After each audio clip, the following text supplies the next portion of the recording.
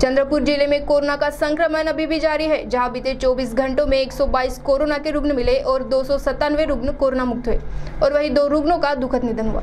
यह रुग्ण किस परिसर से संबंधित है, देखते इस खबर में।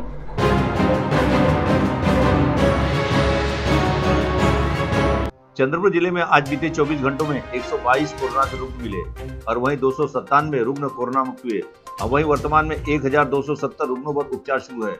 चंद्रपुर ज़िले में कोरोना संक्रमित रुग्णों की संख्या बढ़कर तिरासी हो चुकी है, जिसमें से इक्यासी हज़ार रुग्ण कोरोना मुक्त हुए हैं।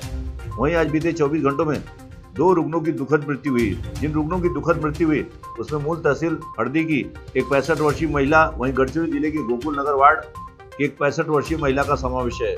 चंद्रपुर ज़िले में आज बीते 24 घंटों में जो 122 रुग्ण मिले हैं उसमें चंद्रपुर महानगर पालिका क्षेत्र के 28 चंद्रपुर तहसील के सात, बल्लारपुर के 21 भद्रावती के नौ, ब्रह्मपुरी के दो नागवीर के 10 सिंधेवाई के चार, मूल के आठ, सावली के छह, कोमुंडा के 3 गोंडपिपरी के छह, राजुरा के दो, चिमुर के तीन गोररा के छह, कोरपना के 5 ज्योति के दो तथा ज्योति के दो रुग्णों का समावेश है। चंद्रपुर ज़िले में कोरोना का संक्रमण एक बार फिर बढ़ता हुआ दिखाई दे रहा है। वहीं नागरिक इस संबंध में सावधानी बरते। अपने हाथों को सैनिटाइज करें, सोशल डिस्टेंस का पालन करें, घरों से बाहर निकलते समय मास्क पहनकर अवश्य निकले।